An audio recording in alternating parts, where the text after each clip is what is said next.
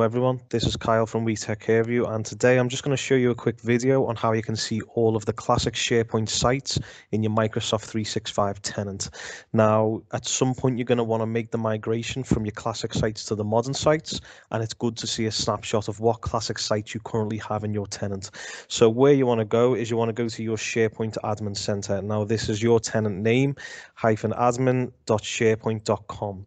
Uh, when you navigate to that you will see a page like this, which is the SharePoint Admin Center. From this page, you want to go to Sites and see the active sites.